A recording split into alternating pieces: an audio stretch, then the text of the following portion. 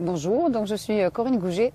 Je suis l'auteur du livre Additifs alimentaires danger qui, euh, qui a été édité en 14 éditions en français et qui euh, arrivait à 175 000 exemplaires. Donc je suis passionnée par le sujet des additifs alimentaires depuis 19 ans. Et à l'époque, euh, j'étais future maman en Angleterre et j'ai découvert un article de trois pages dans un magazine féminin sur les fameux E, 124, 621, etc. Et E, donc c'est pour Europe. Et après, on met trois chiffres ou quatre pour désigner un additif. Donc j'ai commencé à éplucher euh, les étiquettes de ce que je mangeais à l'époque euh, quotidiennement. J'ai aussi compris qu'étant enceinte, il fallait que j'évite certains additifs alimentaires dangereux pour l'enfant que je portais. Et je me suis mise à cuisiner absolument tout ce que je mangeais. Euh, des quiches au sorbet, au gâteau, tout ça de manière traditionnelle. Et donc c'est une passion qui m'a jamais lâchée. Et sauf que dans les références que j'utilisais, on ne parlait pas d'aspartame. Et ce n'est qu'en 2003, après des années très très difficiles, que j'ai brutalement découvert la vérité sur l'aspartame, on va dire que j'ai découvert la vérité à dose homéopathique.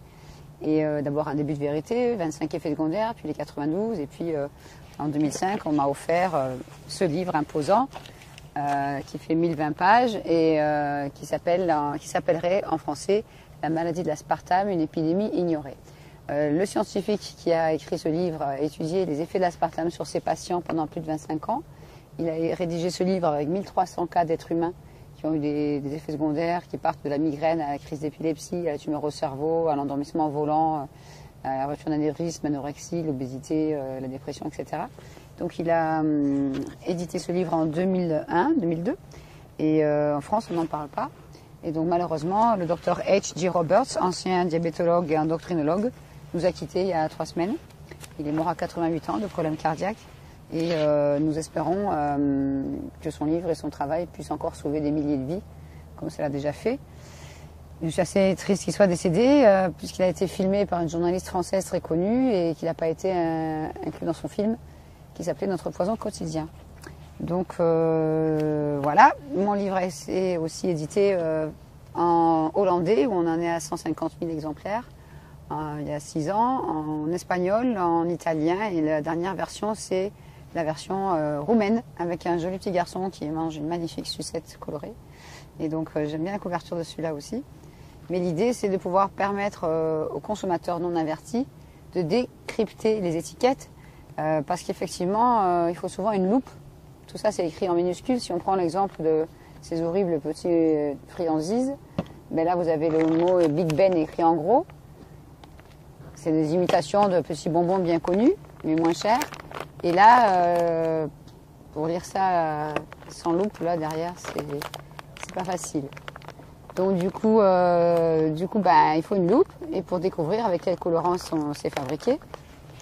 Donc si on, si on cherche un peu, on va chercher il y a plusieurs langues, donc c'est malheureusement vendu dans de nombreux pays. Alors cacahuètes, on s'en doute, il y en a 29%. Enrobé de chocolat au lait, 48%. Dragéfié, donc ingrédients sucre, c'est-à-dire qu'il y en a beaucoup, parce que c'est au début. Je vais essayer de trouver.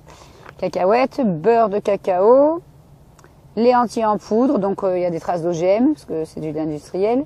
Lactose, pâte de cacao, ça c'est moins dangereux. Amidon de riz, c'est moins dangereux aussi.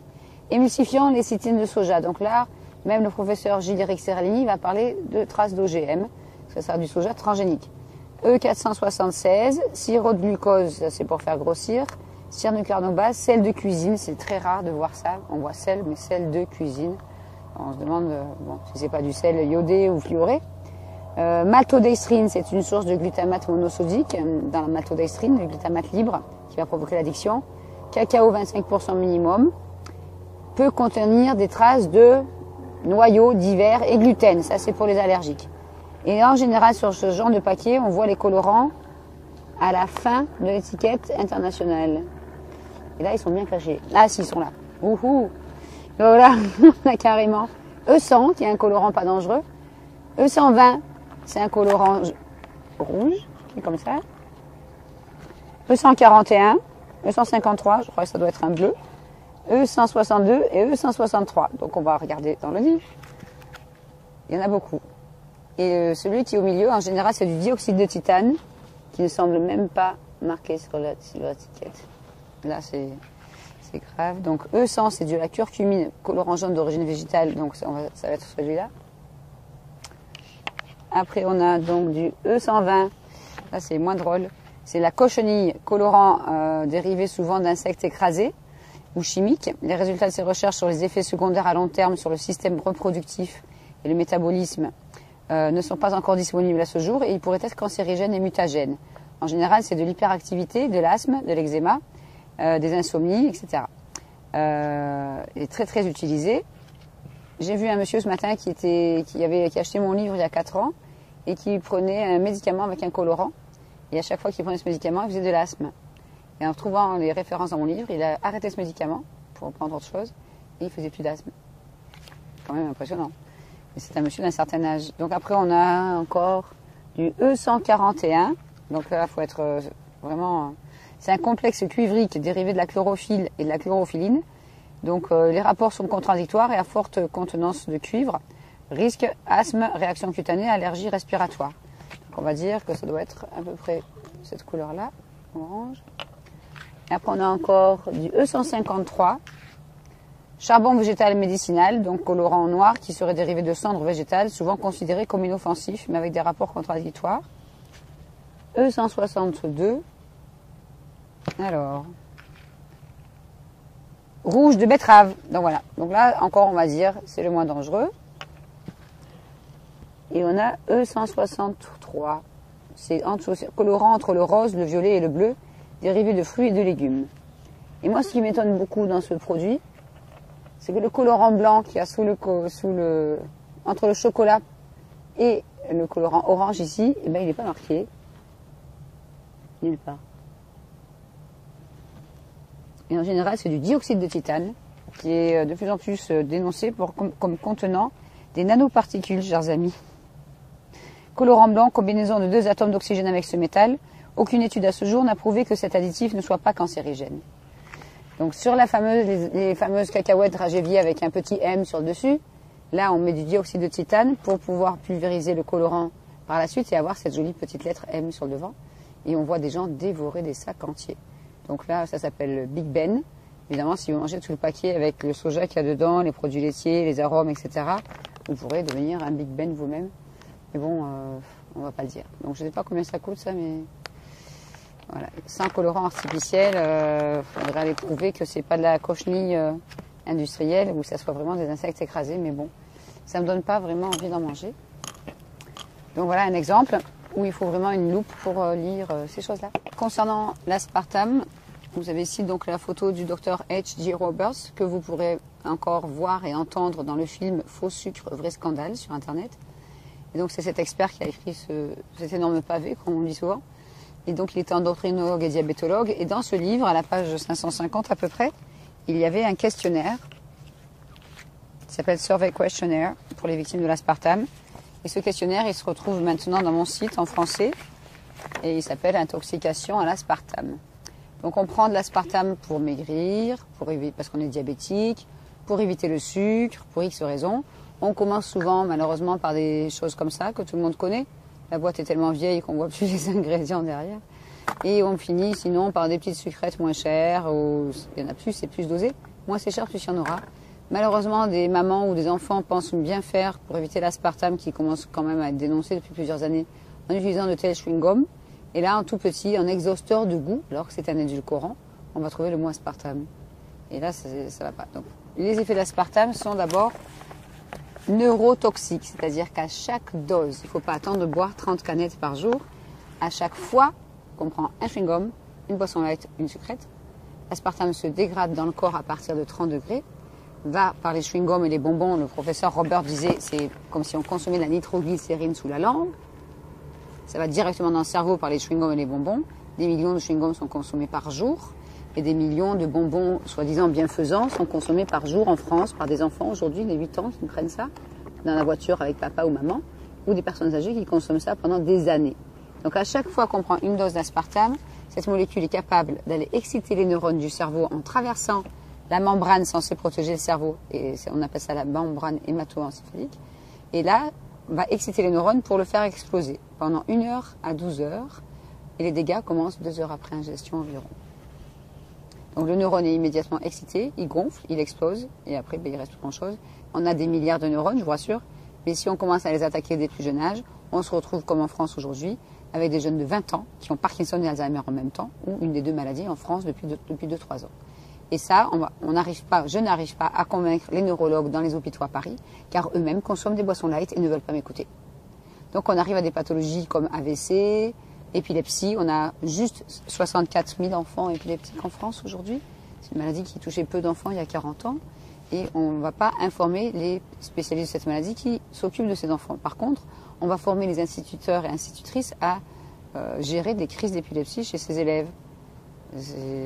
On parle aussi malheureusement beaucoup de l'AVC du nourrisson. Euh, donc là, dans ce livre qui a un an, qui est écrit par le professeur Woodrow Monte. Donc ça s'appelle euh, Science Sleeps, a Sweetener Kills. pendant que la science dort, un édulcorant tue. C'est clair. Il ne peut pas faire mieux. Donc cet expert est un passionné des maladies modernes qu'il a étudié pendant des années, toute sa vie. Et donc il a spécialement étudié les effets du méthanol. Le méthanol, on voit le retrouver dans les cigarettes. Quand on fume une cigarette ou un cigare, un peu moins, on, trouve, on respire du méthanol. Quand on boit des jus de fruits, euh, myrtilles, tomates, euh, pommes, jus de fruits, tout ce qui est légumes aussi en boîte, on consomme un peu de méthanol. Mais surtout, quand on prend de l'aspartame, c'est la source la plus importante parce que c'est 10% de la molécule et que ce méthanol, progressivement, euh, c'est assez rapide pour l'aspartame, c'est 30 minutes après ingestion, se dégrade en formaldéhyde dans le foie, dans le cerveau, et ce formaldéhyde se dégrade en acide formique.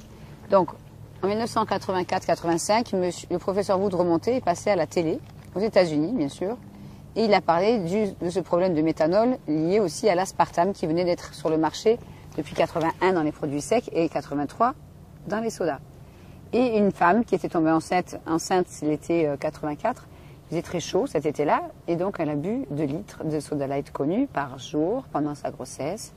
Et elle a donné naissance à une petite fille avec les bras un peu atrophiés et la tête complètement déformée par le méthanol sans le savoir. Cette petite fille était en ville lorsqu'elle est née, et en fait elle a fait un malaise, elle est née sourde et aveugle, et elle est morte. On a confié une photo à sa de la maman, euh, de cette petite fille qui se rappelait Joy à la maman. Et la maman a vu professeur monter à la télé. Et elle a compris pourquoi son enfant était mort. Joy aurait eu 27 ans, malheureusement. Euh, et elle est partie euh, chercher l'adresse du professeur Monté pour prendre rendez-vous. Le jour elle est arrivée dans son bureau, elle était en pleurs avec une bouteille vide de soda light à la main et une enveloppe jaune. Quand elle a ouvert l'enveloppe, cette photo est tombée par terre et elle a laissé la photo de Joy au professeur Woodrow Monté. Je vais vous la montrer car vous avez le droit de savoir. Je lisais ce livre en janvier 2012 Et la même semaine, je suis partie dans un supermarché prendre des photos de ces petites boîtes ridicules. Et une femme est arrivée avec un caddie, comme ça. Une jeune fille de 13-14 ans qui tenait le caddie avec elle, avec une tête déformée, qui bavait, même pas trisomique, avec un crâne déformé et qui ne pouvait pas parler. Euh, et, j'ai tourné la tête, c'était très dérangeant de voir un enfant avec une tête pareille. Et cette femme était en surpoids, avec des bottements au niveau des hanches, les cheveux abîmés, euh, des, kilos en trop, euh, la, peau toute abîmée aussi. Elle s'est agrippée juste à 20 cm de moi à l'étagère pour aller prendre sa recharge de ça. Et j'étais choquée, j'ai pensé à ce livre, je pensais à cette photo de Joy. Et je voyais cet enfant du coin de l'œil, je disais, ah, c'est pas possible ce que je vois. Et cette femme, je lui dis, excusez-moi madame, il faut pas manger ça, c'est pas bon pour la santé. Je suis conférencière et on essaye à plusieurs personnes d'interdire l'aspartame dans le monde. Il me dit, écoutez, ça fait 15 ans que j'en prends dans mon café tous les matins, je vais pas m'arrêter, je m'arrêterai que quand ça sera interdit agressive, etc. Ça fait des années qu'elle en prend, donc 15 ans tous les jours. Et c'est pour ça qu'elle a dû en prendre pendant la grossesse que sa fille est complètement cérébralement euh, déformée physiquement et mentalement. Et donc je rien pu dire. Elle a pris sa recharge, elle a jeté dans son casier. Elle a fait 5 mètres, c'était en janvier. Et une amie à elle s'arrête et lui dit Ah bonjour, comment ça va? Bonne année et surtout bonne santé. Et elle me dit ah, la santé c'est trop tard. Et euh, j'étais vraiment choquée de, de, me dire mais pourquoi on a laissé faire ça? Je sais, on sait pourquoi, mais et j'ai appelé euh, le professeur Boudreau Monté aux États-Unis et j'ai raconté ce que j'ai vu. Il me dit Corinne, j'en vois plein aussi. Et, c'est malheureux de voir des, enfants, des êtres humains handicapés à vie à cause de cette molécule consommée pendant la grossesse. Donc j'ai montré cette photo et ce livre à certaines personnes du ministère de la Santé le 28 mars dernier. Ils ont tourné la tête et ils n'ont rien fait pour prévenir des millions de Français innocents qui ne sont pas bilingues. Je suis désolée, la photo n'est pas très belle, mais il faut que les gens sachent ce que peut faire l'aspartame. Voici Joy, petite fille qui est morte le jour de sa naissance, donc, à cause de l'aspartame consommé à 2 litres par jour dans les soda light par sa maman pendant la grossesse. Le docteur Roberts, quand il passait à la radio aux États-Unis, parlait de génocide. Je soupçonne qu'il a tenu les mêmes propos devant cette célèbre journaliste française lorsqu'elle a interviewé en 2009 et que ce n'est pas dans le film. Et je suis vraiment déçue parce que maintenant qu'il est décédé, il est évident qu'il ne fera plus d'interview.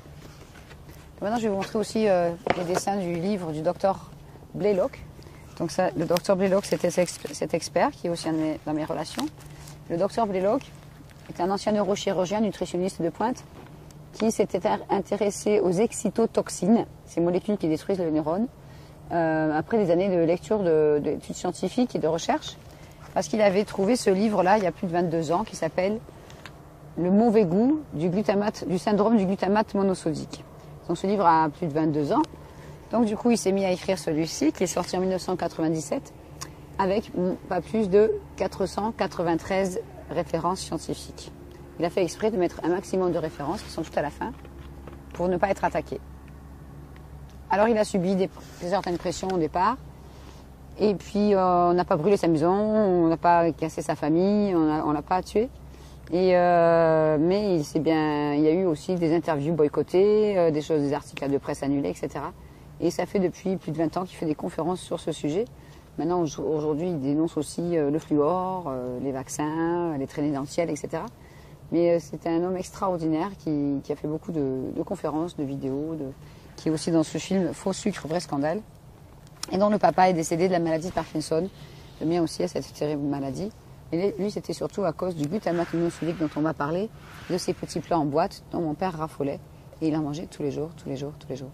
Donc ça fait 20 ans que mon père est victime de cette maladie qui est assez terrible. Donc dans ce livre, on voit les effets du glutamate au bout de deux heures sur les neurones. C'est un livre entièrement en anglais et assez médical, donc euh, j'ai trouvé personne pour le traduire. Donc ça, c'est à forte concentration. La forte concentration, ça sera une boîte entière de chips. Faible concentration, ça sera quelques chewing-gums, quelques un bouillon cube dans une sauce, etc. Donc vous avez le neurone est excité, effet immédiat, il gonfle. Là, c'est à forte dose, là, c'est à faible dose, il est un peu excité. Là, il est toujours pareil au bout d'une heure. Là, il a explosé. Et puis au bout de deux heures, il reste plus grand-chose du neurone. Donc du coup, il est évident qu'il est préférable d'éviter de consommer ces excitotoxines rajoutées en excès dans la nourriture industrielle. Et on estime aux États-Unis que ces excitotoxines, surtout celle-là que je vais vous montrer, le glutamate monosodique ou E621, est présent dans plus de 95% des aliments industriels. Donc qu'est-ce qui reste à manger dans ces, hum, élevages industriels pour humains, on va dire rien. Et la chose la plus grave, c'est que certains fertilisants contiennent 30% de glutamate monosodique et sont pulvérisés sur des fraises ou du raisin, par exemple, qui, par la suite, ont, dans les confitures de fraises ou le raisin qui est fait transformer en vin, on peut retrouver des traces de glutamate monosodique. Donc certains Américains qui sont friands des spécialités culinaires européennes viennent en vacances en Espagne, achètent du vin ou passent en France acheter de la confiture, par exemple, et rentrent aux États-Unis avec ces produits. Et quand ils en consomment, ils réagissent au glutamate monosodique sans savoir qu'ils en ont consommé, puisque c'était sur le dans le fertilisant. C'est affolant. Donc si vous allez sur mon site qui est euh, www.santéendanger.net, vous allez dans la rubrique vidéo mes articles, et dans mes articles, il y en a un qui a été écrit pour Kousmine et qui s'appelle Les excitotoxines, vous en mangez peut-être tous les jours sans savoir. Et là, j'explique bien les effets secondaires, les références, etc. et l'histoire de ce fertilisant qui contient 30% de glutamate monosodique. Donc euh, on n'est pas sorti de l'auberge. Euh, Jack Samuels, un très bon ami à moi qui est décédé il y a un an aussi d'un problème cardiaque, et qui avait survécu 30 fois une intoxication au glutamate, Jack Samuels m'expliquait qu'en fait, ben, c'était vraiment très très grave ce qui se passait dans la nourriture et qu'il fallait euh, alerter le, plus grand nombre de personnes possible. Et les dégâts neurologiques au niveau du glutamate monosodique peuvent durer entre 1 heure à 48 heures après chaque dose. Donc si vous prenez des adorables petites boîtes de plats préparés, vous avez des fois 5 à 6 sources de glutamate monosodique différentes dans le même plat. Le but, comme le dit le docteur Blaylock, c'est de donner du goût à quelque chose qui n'en a pas, qui garantit un an, deux ans, voire plus dans la boîte, et qui, sans ça, n'aurait pas envie d'en manger. Si vous cuisinez des lentilles vous-même, avec une saucisse de Strasbourg, si possible, sans sulfite et sans colorant et sans glutamate, vous mettez ça dans un bocal pendant 3-4 jours, même une semaine, ça commence à moisir, c'est évident. Donc là, on va rajouter des conservateurs et puis euh, des, tas de, des fois des colorants dans la saucisse. Et puis, quand vous allez ouvrir la boîte, il y a marqué engagement, qualité, viande d'origine contrôlée. Bon, on ne savez pas s'il y a du cheval dans la saucisse, mais bon, voilà. Source de vitalité. Je suis désolée, ça c'est de la tromperie aggravée. On ne peut pas avoir de la vitalité après avoir consommé un produit avec six sources de glutamate monosodique. Les premiers symptômes, 15 minutes après ingestion, si on est allergique, ça va être des nausées, envie de dormir, des vertiges, des de vomir, des migraines, et des éruptions cutanées sur le visage, voire œdème de Quint, genre gonflement de la langue et de la bouche ou du visage, et là la personne commence à s'étouffer. Donc ceux qui sont allergiques ont de la chance, entre guillemets, ils sont obligés de cuisiner tout ce qu'ils consomment, et surtout euh, éviter aussi l'extrait de levure dans les produits bio qui sont aussi du glutamate monosodique. C'est affolant. Donc ça, il vaut mieux éviter. On ne peut pas avoir de vitalité après ça, mais ils ont été plus loin. Ils ont fait format euh, croquette pour chien, pâté pour chien, format familial, on va dire. J'en donnerai même pas à mon chien. Et là, les enfants, l'enfant qui m'a donné ça a mangé ça avec sa soeur, son frère sa maman. Et on dit que c'est un traiteur depuis 1898. Donc là, si on voit les ingrédients, sauce, eau, doux, concentré de tomate, farine de blé, sel, sucre, gomme de goire, arôme. Dans l'arôme, il peut y avoir trois fois du glutamate monosodique, ils sont au pluriel.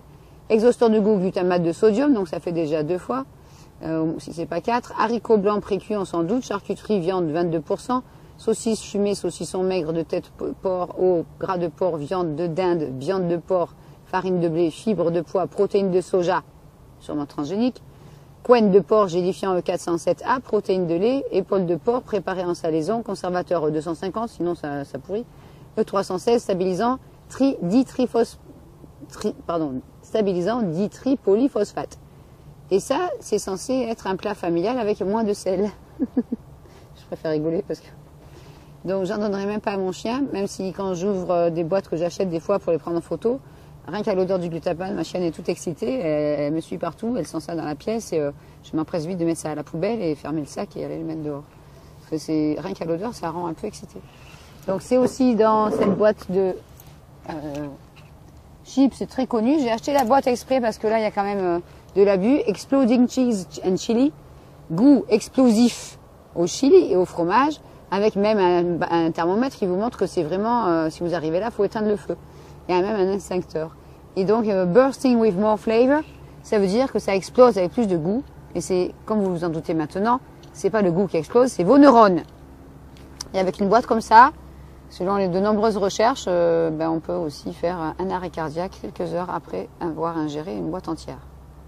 C'est affolant. Le but, c'est de donner du goût. Si vous allez sur, YouTube, sur Internet, et non, YouTube et vous tapez la vérité sur le glutamate monosodique, vous verrez une vidéo qui dure 13 minutes, sous-titrée en français par un de mes amis, et qui, a été diffusée à la télé en 1991 aux États-Unis et après en janvier 92.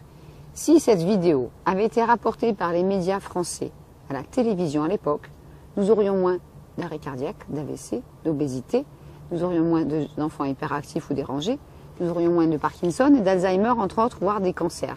Car l'aspartame peut déclencher un cancer et le glutamate le fait grossir comme un feu de paille, car la tumeur cancéreuse, selon le professeur Blaylock, se nourrit de glutamate monosodique. Or, qu'est-ce qu'on fait dans les hôpitaux? On ne donne surtout pas de conseils en nutrition. Quand la personne sort de son cancer et rentre à la maison, pour lui faire la fête, on va lui cuisiner un plat avec des bouillons cubes, on va lui donner une, soupe en sachet ou des chips pour faire la fête et des bonbons.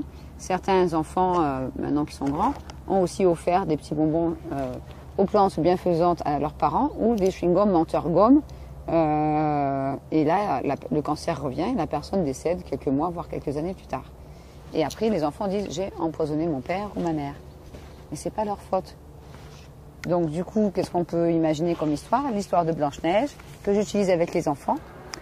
Euh, quand je fais des ateliers pour enfants, parce que j'explique pas la même chose aux enfants qu'aux parents, d'où l'intérêt de faire un atelier pour enfants, par exemple, un vendredi après-midi dans une école maternelle, primaire, un collège ou un lycée, et le soir, si nous avons une pièce à disposition, faire une conférence pour les parents. Donc pour les enfants, j'utilise cette histoire avec la sorcière. Pourquoi la sorcière fait la pomme? Est-ce qu'elle est belle? Est-ce qu'elle n'est pas belle? Est-ce qu'elle est intelligente? Est-ce qu'elle n'est pas intelligente? Pourquoi elle ne mange pas sa pomme? Et après, on passe à Blanche-Neige qui la mange, parce qu'on lui ment. Et Blanche-Neige tombe par terre, s'endort pendant des années, soi-disant, jusqu'au jour où le prince charmant vient l'embrasser et elle se réveille.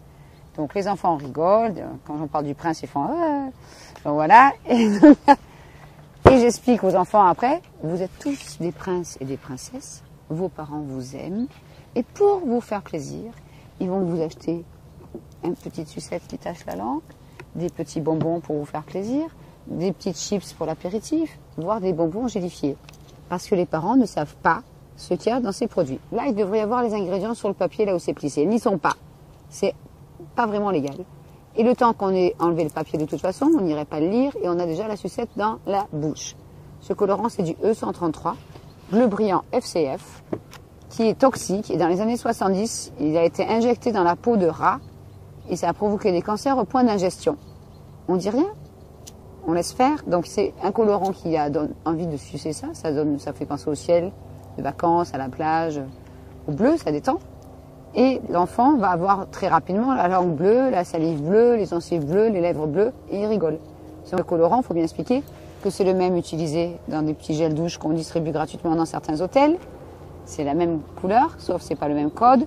Donc dans la nourriture, c'est E133 ou bleu brillant FCF quand ils mettent le nom et pas le code. Ou dans les cosmétiques comme ce petit gel douche gratuit, du CI 42090. Colorant bleu de synthèse utilisé dans des tonnes de bonbons, de sucettes, de chewing-gum, de cosmétiques, de médicaments. Risque hyperactivité, asthme, urticaire, insomnie et cancer.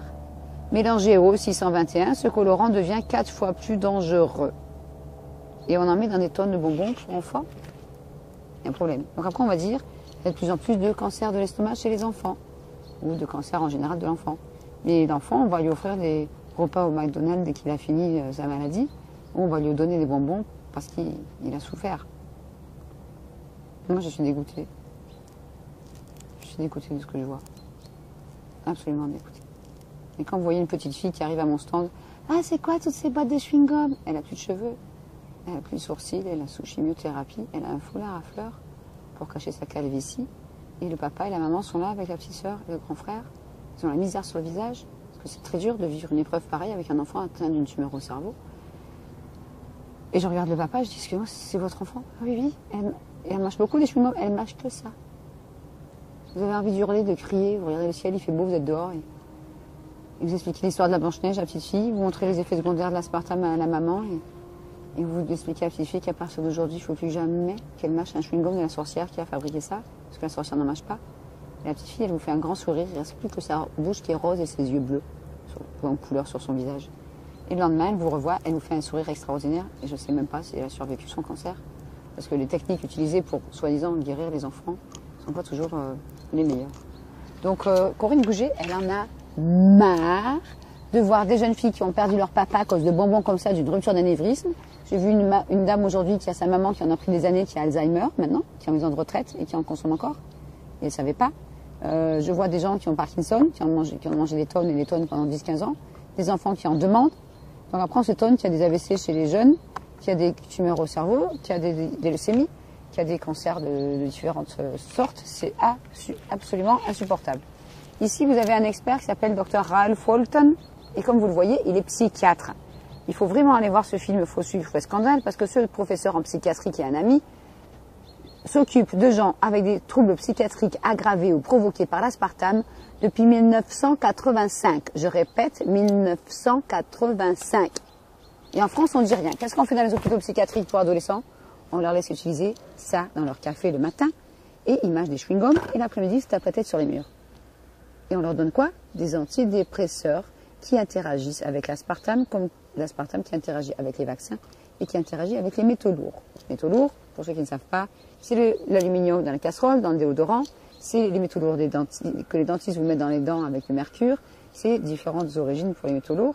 Et donc, on ne dit rien et on en absorbe. Et après, ça se mélange avec les bonbons ou les chewing-gums qu'on mâche et on devient intoxiqué en plus au mercure. Donc, je ne vais pas tous les lire parce que le questionnaire est sur mon site, mais l'aspartame peut provoquer des problèmes de vue, donc des taches dans le champ de vision, la vue qui baisse, euh, forte sensibilité à la lumière, perte de la vue, des sifflements ou des craquements dans les oreilles, d'où aussi une forte sensibilité au bruit. Ça va très très loin. Donc les gens vivent avec des bouchons dans les oreilles, surtout pour dormir ou même pour ne pas. J'ai une maman hein, qui mâchait ça. Elle mettait des bouchons dans les oreilles pour pas entendre ses enfants dessiner sur des feuilles de papier dans le RER. E Et après, ça, ça l'incommodait. Elle est partie s'asseoir ailleurs pour pas voir ses enfants dessiner qui faisaient pas de bruit, ils étaient trois. Donc là, j'étais lui taper sur l'épaule, elle a enlevé son bouchon. et a compris qu'elle souffrait de ça à cause de ça. Donc voilà, trois enfants. Ça, rend les parents psychorigides. Ça, ça provoque des troubles psychiatriques assez importants. Migraine, vertige, tremblement, crise d'épilepsie, convulsions, fatigue chronique, insomnie ou problème pour s'endormir. J'ai vu une jeune fille aujourd'hui qui avait de graves problèmes de sommeil. Réveil dans la nuit, donc on va aux toilettes parce qu'on ne retient pas ses selles et on a soif, on va boire des boissons light parce que l'eau c'est pas bon et on n'arrive plus à s'endormir. Donc le matin on se réveille, on a du mal, on rate le bus pour aller au collège ou on devient agoraphobe. L'agoraphobie est principalement provoquée par les boissons light parce que d'après le professeur euh, donc Ralph Walton à New York, j'en ai vu beaucoup des agoraphobes aux boissons light, des sous-marques et des grandes marques, il me disait que ça doit être le mélange caféine et aspartame qui aggrave les troubles de la personnalité. On dit rien? Donc ça peut aussi faire euh, essoufflement inexpliqué, ah oui, au niveau de la psychiatrie, irritabilité, troubles de l'élocution, dépression, tentative de suicide, changement de personnalité, troubles de mémoire, confusion mentale, douleur inexpliquée au visage, euh, aggravation des phobies, des tocs, c'est extraordinaire les tocs que ça provoque, des obsessions pour la pour l'argent, le pouvoir, le rangement, la propreté. Euh, la paranoïa peut être aggravée, voire aller jusqu'à la paranoïa aiguë, la peur de la hauteur, l'obsession sexuelle, l'hypersexualité, ça provoque des, des courts-circuits. C'est très bien expliqué dans ce livre, la page 192. Et donc la personne sent la crise arriver, on appelle ça une attaque cérébrale aussi, et donc elle se sent cette colère monter et elle ne peut pas s'en empêcher. Donc j'ai des mamans qui me disent j'étais pas méchante avant, je suis devenue. Et dans ce livre donc du neurologue Dr Blaylock, on voit que ces attaques cérébrales arrivent souvent dans le partie frontale du cerveau, qui peut donc résulter en crise d'hypersexualité, crise soudaine de déjà-vu, crise de violence, euh, de comportement violent assez rapide, et ça, affecte le comportement de la personne de plus en plus. Donc il faut vraiment informer les gens, il est grand temps. On peut avoir une rupture d'anévrisme, une tumeur au cerveau, maladie d'Alzheimer ou de Parkinson aggravée, voire provoquée, changement de personnalité, on l'a dit, essoufflement au niveau de la cage thoracique, palpitations, douleur dans les côtes, problèmes d'hypertension, arrêt cardiaque, ça il y en a plein, euh, douleur au ventre, nausées, diarrhée. Quand on achète des chewing-gums, on voit souvent une consommation excessive peut avoir des effets laxatifs. Je vous garantis c'est vrai. On fabrique aussi en France des médicaments à l'aspartame pour provoquer les diarrhées. Chez les gens qui sont constipés à cause des antidépresseurs. Pardon.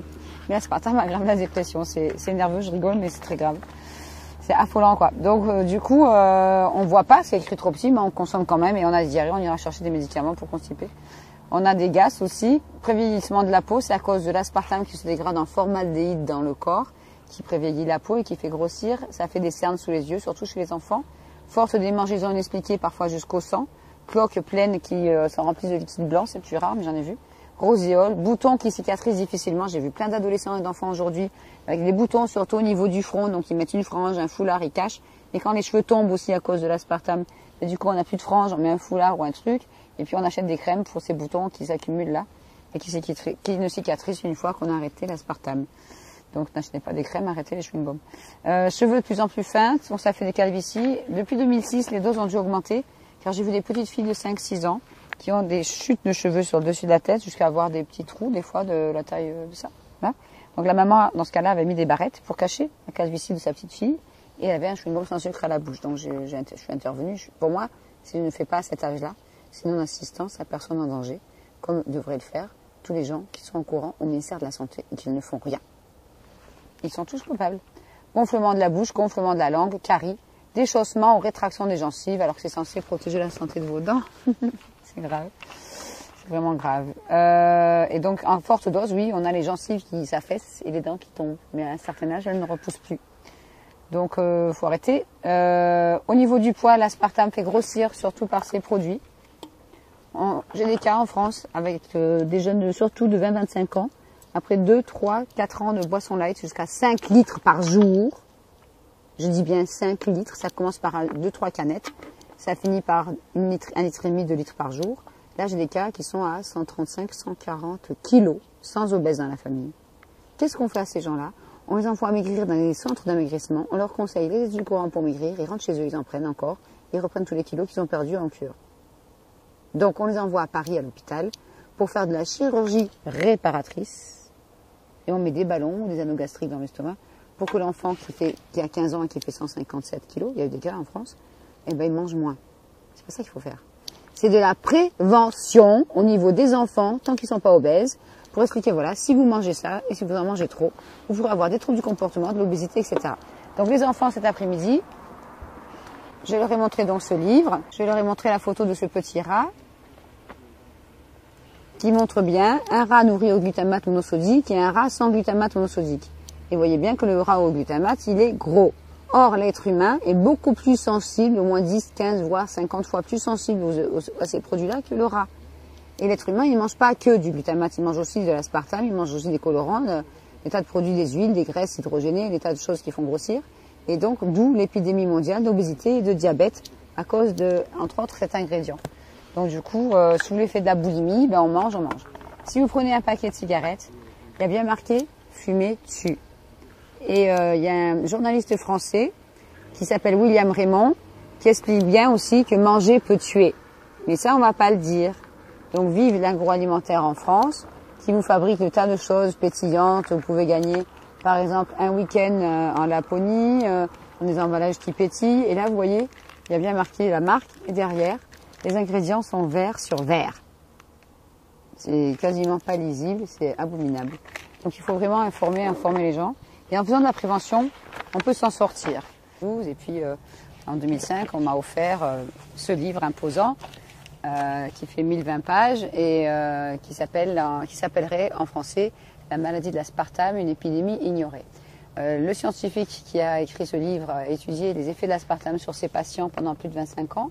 Il a rédigé ce livre avec 1300 cas d'êtres humains qui ont eu des, effets secondaires qui partent de la migraine à la crise d'épilepsie, à la tumeur au cerveau, à l'endormissement volant, à la rupture d'anévrisme, l'anorexie, l'obésité, euh, la dépression, etc.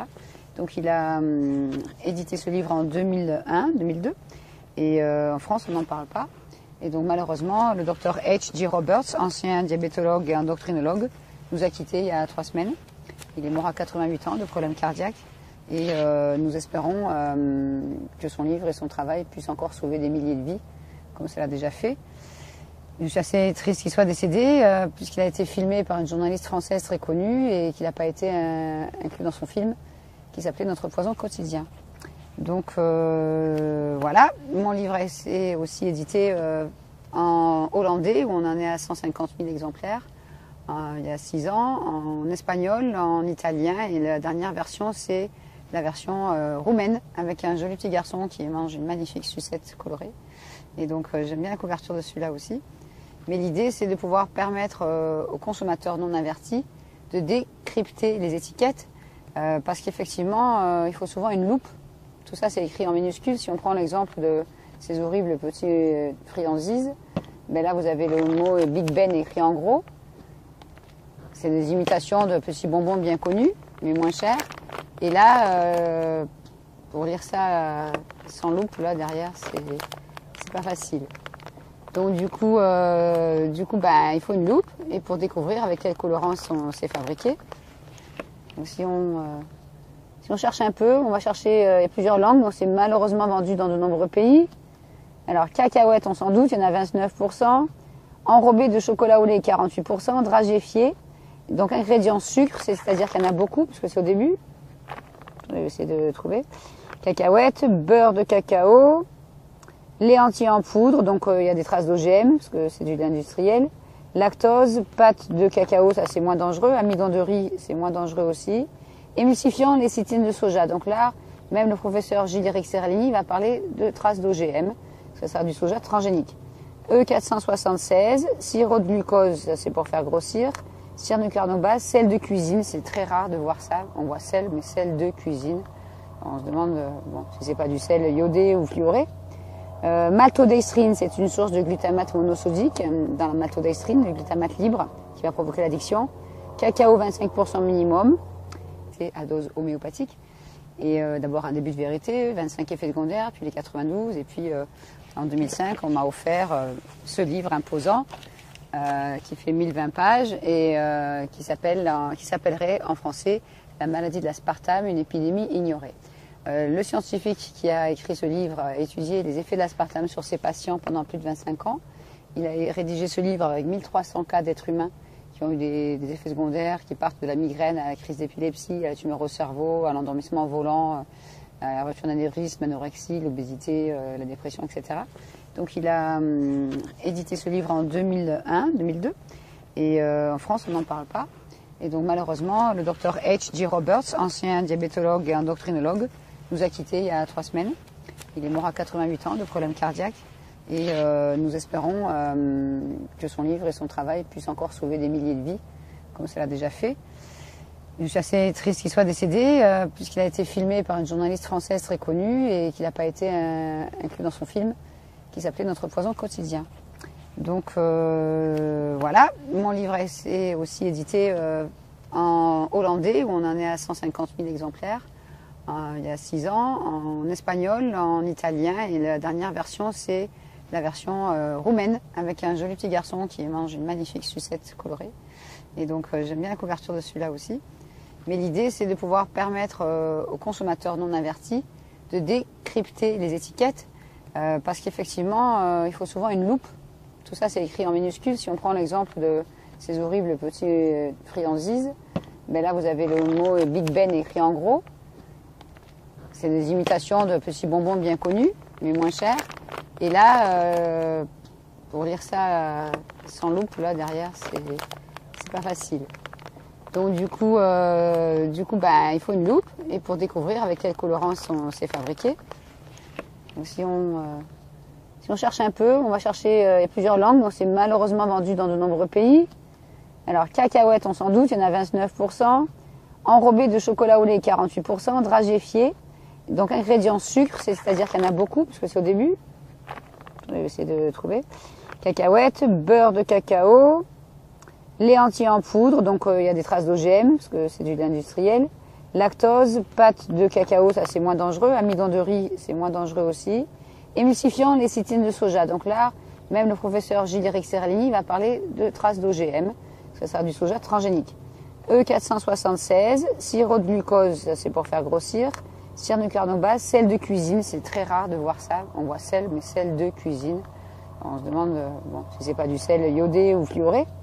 Euh, maltodextrine, c'est une source de glutamate monosodique euh, dans la maltodextrine. Votre enfant Oui, oui, elle, elle mange beaucoup des chewing elle mange que ça. Vous avez envie d'hurler, de crier, vous regardez le ciel, il fait beau, vous êtes dehors. Et, vous expliquez l'histoire de la Blanche-Neige à la petite fille, vous montrez les effets secondaires de l'aspartame à la maman. Et, vous expliquez à la petite fille qu'à partir d'aujourd'hui, il ne faut plus jamais qu'elle mâche un chewing-gum de la sorcière qui a fabriqué ça, parce que la sorcière n'en mâche pas. Et la petite fille, elle vous fait un grand sourire, il ne reste plus que sa bouche qui est rose et ses yeux bleus, en couleur sur son visage. Et le lendemain, elle vous revoit, elle vous fait un sourire extraordinaire, et je ne sais même pas si elle a survécu son cancer, parce que les techniques utilisées pour soi-disant guérir les enfants ne sont pas toujours euh, les meilleurs. Donc euh, Corinne Gouget, elle en a marre de voir des jeunes filles qui ont perdu leur papa à cause de bonbons comme ça, d'une rupture d'anévrisme. J'ai vu une, dame aujourd'hui qui a sa maman qui en a pris des années, qui a Alzheimer maintenant, qui est en maison de retraite et qui en consomme encore. Et elle savait pas. Euh, je vois des gens qui ont Parkinson, qui ont, mangé, qui ont mangé des tonnes et des tonnes pendant 10-15 ans. Des enfants qui en demandent. Donc après on s'étonne qu'il y a des AVC chez les jeunes, qu'il y a des tumeurs au cerveau, qu'il y a des, leucémies qui a des cancers de, différentes euh, sortes, c'est absolument insupportable. Ici, vous avez un expert qui s'appelle Dr. Ralph Walton, et comme vous le voyez, il est psychiatre. Il faut vraiment aller voir ce film Faux sucre, faux scandale, parce que ce professeur en psychiatrie qui est un ami s'occupe de gens avec des troubles psychiatriques aggravés ou provoqués par l'aspartame depuis 1985. Je répète, 1985. Et en France, on ne dit rien. Qu'est-ce qu'on fait dans les hôpitaux psychiatriques pour adolescents? On leur laisse utiliser ça dans leur café le matin et ils mangent des chewing-gums et l'après-midi tapent la tête sur les murs. Et on leur donne quoi? Des antidépresseurs qui interagissent avec l'aspartame comme l'aspartame qui interagit avec les vaccins et qui interagit avec les métaux lourds. Métaux lourds, pour ceux qui ne savent pas, c'est l'aluminium dans la casserole, dans le déodorant, c'est les métaux lourds que les dentistes vous mettent dans les dents avec le mercure, c'est différentes origines pour les métaux lourds. Et donc on ne dit rien, et on en absorbe et après ça se mélange avec les bonbons ou les chewing-gums qu'on mâche et on devient intoxiqué en plus au mercure. Donc je ne vais pas tous les lire parce que le questionnaire est sur mon site, mais l'aspartame peut provoquer des problèmes de vue, donc des taches dans le champ de vision, la vue qui baisse, euh, forte sensibilité à la lumière, perte de la vue, des sifflements ou des craquements dans les oreilles, d'où aussi une forte sensibilité au bruit. Ça va très très loin. Donc les gens vivent avec des bouchons dans les oreilles, surtout pour dormir ou même pour ne pas. J'ai eu une maman hein, qui mâchait ça elle mettait des bouchons dans les oreilles pour pas entendre ses enfants dessiner sur des feuilles de papier dans le RER. E Et après, ça, ça l'a incommodée. Elle est partie s'asseoir ailleurs pour pas voir ses enfants dessiner qui faisaient pas de bruit. Ils étaient trois. Donc là, j'étais lui taper sur l'épaule. Elle a enlevé son bouchon. et a compris qu'elle souffrait de ça à cause de ça. Donc voilà, trois enfants. Ça, rend les parents psychorigides. Ça, provoque des troubles psychiatriques assez importants. Migraine, vertige, tremblement, crise d'épilepsie, convulsions, fatigue chronique, insomnie ou problème pour s'endormir. J'ai vu une jeune fille aujourd'hui de son cancer, elle rentre à la maison. Pour lui faire la fête, on va lui cuisiner un plat avec des bouillons cubes, on va lui donner une, soupe en sachet ou des chips pour faire la fête et des bonbons. Certains enfants, euh, maintenant qui sont grands, ont aussi offert des petits bonbons euh, aux plantes bienfaisantes à leurs parents ou des chewing-gums menteur-gomme. Euh, et là, le cancer revient et la personne décède quelques mois, voire quelques années plus tard. Et après, les enfants disent j'ai empoisonné mon père ou ma mère. Mais c'est pas leur faute. Donc du coup, qu'est-ce qu'on peut imaginer comme histoire? L'histoire de Blanche-Neige que j'utilise avec les enfants. Euh, quand je fais des ateliers pour enfants, parce que j'explique pas la même chose aux enfants qu'aux parents, d'où l'intérêt de faire un atelier pour enfants, par exemple, un vendredi après-midi dans une école maternelle, primaire, un collège ou un lycée, et le soir, si nous avons une pièce à disposition, faire une conférence pour les parents. Donc pour les enfants, j'utilise cette histoire avec la sorcière. Pourquoi la sorcière fait la pomme? Est-ce qu'elle est belle? Est-ce qu'elle est pas belle? Est-ce qu'elle est intelligente? Est-ce qu'elle est pas intelligente? Pourquoi elle mange pas sa pomme? Et après, on passe à Blanche-Neige qui la mange, parce qu'on lui ment. Et Blanche-Neige tombe par terre, s'endort pendant des années, soi-disant, jusqu'au jour où le prince charmant vient l'embrasser et elle se réveille. Donc les enfants rigolent. Quand j'en parle du prince, ils font ah. donc voilà. Et, et j'explique aux enfants après, vous êtes tous des princes et des princesses. Vos parents vous aiment. Et pour vous faire plaisir, ils vont vous acheter une petite sucette qui tache la langue, des petits bonbons pour vous faire plaisir, des petites chips pour l'apéritif, voire des bonbons gélifiés parce que les parents ne savent pas ce qu'il y a dans ces produits. Là, il devrait y avoir les ingrédients sur le papier là où c'est plissé. Ils n'y sont pas. C'est pas vraiment légal. Et le temps qu'on ait enlevé le papier de toute façon, on n'irait pas le lire et on a déjà la sucette dans la bouche. Ce colorant, c'est du E133, bleu brillant FCF, qui est toxique. Et dans les années 70, il a été injecté dans la peau de rat et ça a provoqué des cancers au point d'ingestion. On dit rien on laisse faire. Donc c'est un colorant qui a envie de sucer ça. Ça, donne, ça fait penser au ciel, de vacances, à la plage, au bleu, ça détend. Et l'enfant va avoir très rapidement la langue bleue, la salive bleue, les gencives bleues, les lèvres bleues, et il rigole. C'est un colorant, il faut bien expliquer que c'est le même utilisé dans des petits gels douche qu'on distribue gratuitement dans certains hôtels. C'est la même couleur, sauf c'est pas le même code.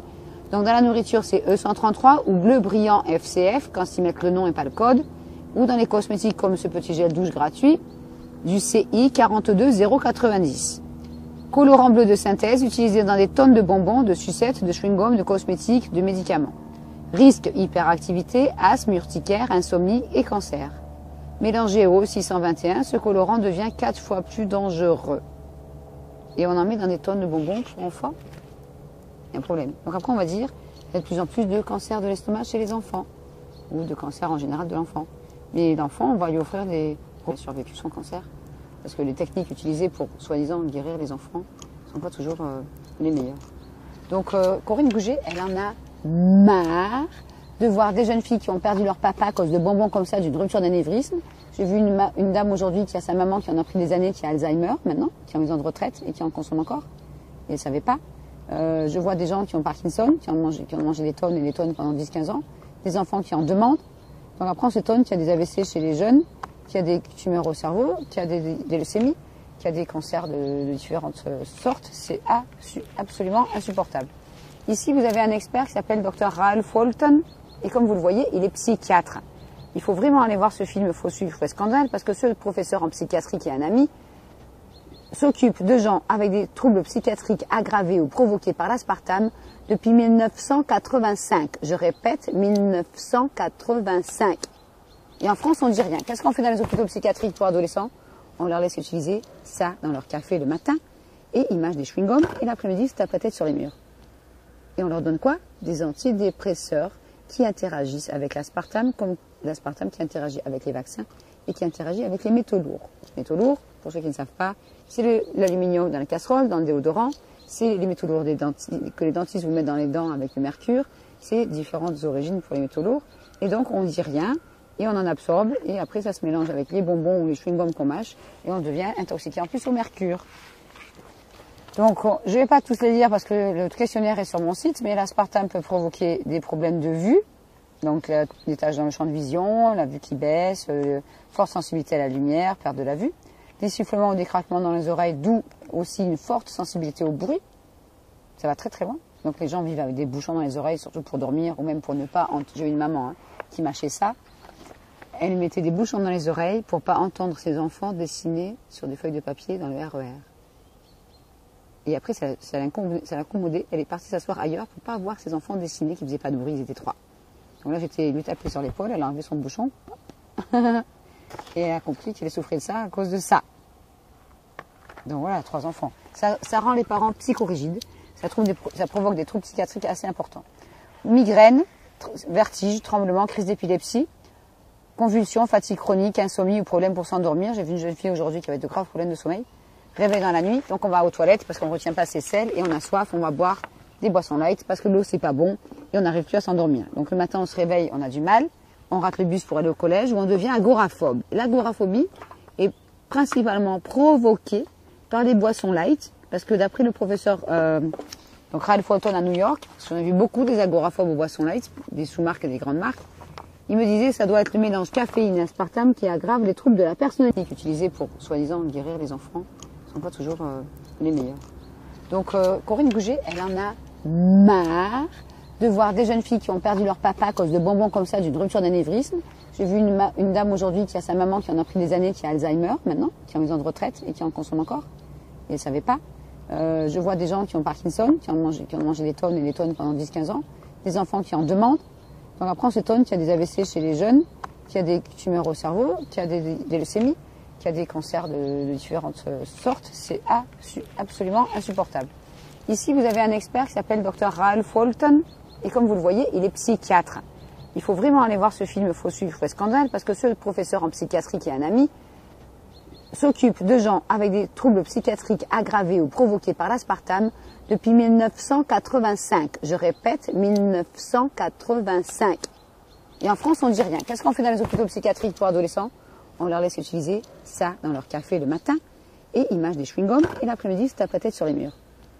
Et on leur donne quoi? Des antidépresseurs qui interagissent avec l'aspartame comme l'aspartame qui interagit avec les vaccins et qui interagit avec les métaux lourds. Les métaux lourds, pour ceux qui ne savent pas, c'est l'aluminium dans la casserole, dans le déodorant, c'est les métaux lourds des que les dentistes vous mettent dans les dents avec le mercure, c'est différentes origines pour les métaux lourds.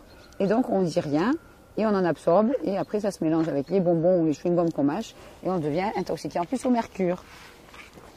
Donc je ne vais pas tous les lire parce que le questionnaire est sur mon site, mais l'aspartame peut provoquer des problèmes de vue, donc des dans le champ de vision, la vue qui baisse, euh, forte sensibilité à la lumière, perte de la vue des sifflements ou des craquements dans les oreilles, d'où aussi une forte sensibilité au bruit.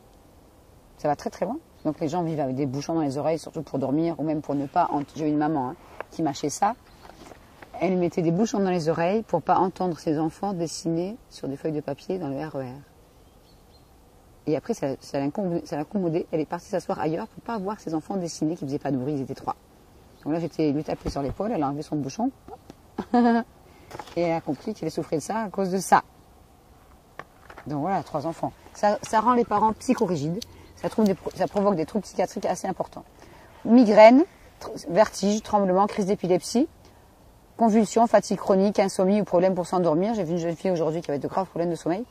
Réveil dans la nuit, donc on va aux toilettes parce qu'on ne retient pas ses selles et on a soif, on va boire des boissons light parce que l'eau c'est pas bon et on n'arrive plus à s'endormir. Donc le matin on se réveille, on a du mal, on rate le bus pour aller au collège ou on devient agoraphobe. L'agoraphobie est principalement provoquée par les boissons light, parce que d'après le professeur euh, donc Ralph Fulton à New York, qu'on a vu beaucoup des agoraphobes aux boissons light, des sous-marques et des grandes marques, il me disait ça doit être le mélange caféine et aspartame qui aggrave les troubles de la personnalité. On dit rien. Sur le colorant, il faut bien expliquer que c'est le même utilisé dans des petits gels douche qu'on distribue gratuitement dans certains hôtels. C'est la même couleur, sauf c'est pas le même code. Donc dans la nourriture, c'est E133 ou bleu brillant FCF quand ils mettent le nom et pas le code ou dans les cosmétiques comme ce petit gel douche gratuit du CI 42090. Colorant bleu de synthèse utilisé dans des tonnes de bonbons, de sucettes, de chewing-gum, de cosmétiques, de médicaments. Risque hyperactivité, asthme, urticaire, insomnie et cancer. Mélangé au 621, ce colorant devient 4 fois plus dangereux. et on en met dans des tonnes de bonbons pour enfants, il y a un problème. Donc après, on va dire il y a de plus en plus de cancers de l'estomac chez les enfants, ou de cancer en général de l'enfant. Mais l'enfant, on va lui offrir des repas au McDonald's dès qu'il a fini euh, sa maladie, ou on va lui donner des bonbons parce qu'il a souffert. Moi, je suis dégoûtée. Je suis dégoûtée de ce que je vois. Absolument dégoûtée. Et quand vous voyez une petite fille qui arrive à mon stand, ah, c'est quoi toutes ces boîtes de chewing-gum? Elle a plus de cheveux, elle a plus de sourcils, elle a sous chimiothérapie, elle a un foulard à fleurs pour cacher sa calvitie. Et le papa et la maman sont là avec la petite sœur et le grand frère. Ils ont la misère sur le visage, parce que c'est très dur de vivre une épreuve pareille avec un enfant atteint d'une tumeur au cerveau. Et je regarde le papa, je dis, excusez-moi, c'est votre enfant? Ah Oui, oui. Elle, elle mâche beaucoup des chewing-gums, elle mâche que ça. Vous avez envie d'hurler, de crier, vous regardez le ciel, il fait beau, vous êtes dehors. Vous expliquez l'histoire de la Blanche-Neige à la petite fille, vous montrez les effets secondaires de l'aspartame à la maman.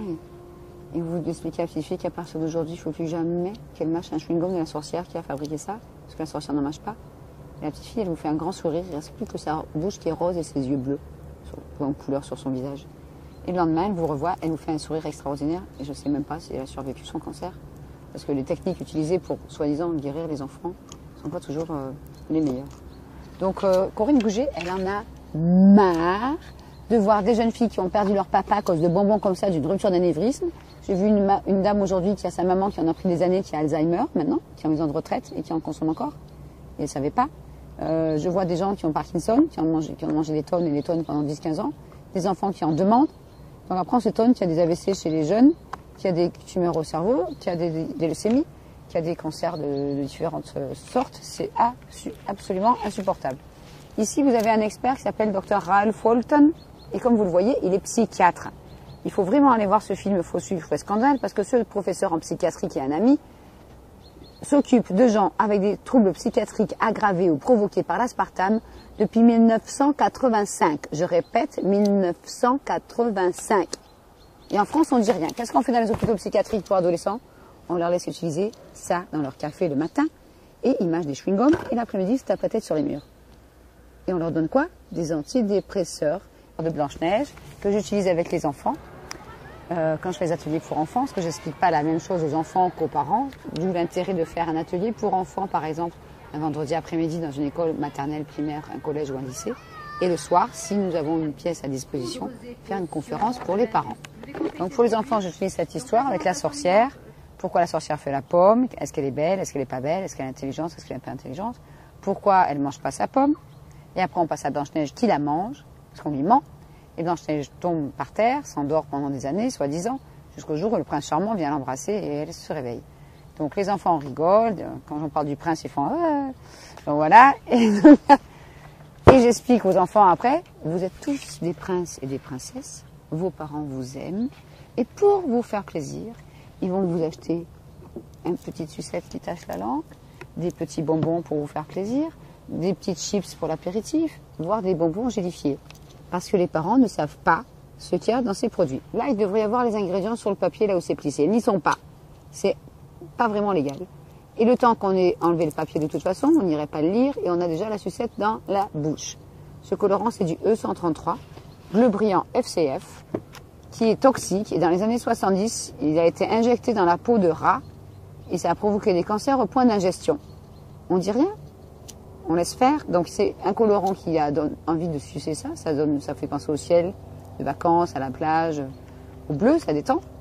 Et l'enfant va avoir très rapidement la langue bleue, la salive bleue, les gencives bleues, les lèvres bleues, et il rigole. C'est un colorant, il faut bien expliquer, que c'est le même utilisé dans des petits gels douche qu'on distribue gratuitement dans certains hôtels. C'est la même couleur, sauf c'est pas le même code. Donc dans la nourriture, c'est E133 ou bleu brillant FCF quand ils mettent le nom et pas le code. Ou dans les cosmétiques comme ce petit gel douche gratuit, du CI 42090. Colorant bleu de synthèse utilisé dans des tonnes de bonbons, de sucettes, de chewing-gum, de cosmétiques, de médicaments. Risque hyperactivité, asthme, urticaire, insomnie et cancer. Mélangé au 621, ce colorant devient 4 fois plus dangereux. Et on en met dans des tonnes de bonbons pour enfants. Il y a un problème. Donc après, on va dire qu'il y a de plus en plus de cancer de l'estomac chez les enfants. Ou de cancer en général de l'enfant. Mais l'enfant, on va lui offrir des repas au McDonald's dès qu'il a fini euh, sa maladie. Ou on va lui donner des bonbons parce qu'il a souffert. Moi, je suis dégoûtée. suis dégoûtée de ce que je vois. Absolument dégoûtée. Et quand vous voyez une petite fille qui arrive à mon stand, ah c'est quoi toutes ces boîtes de chewing-gum? Elle a plus de cheveux, elle a plus de sourcils, elle a sous chimiothérapie, elle a un foulard à fleurs pour cacher sa calvitie. Et le papa et la maman sont là avec la petite sœur et le grand frère. La misère sur le visage, parce que c'est très dur de vivre une épreuve pareille avec un enfant atteint d'une tumeur au cerveau. Et je regarde le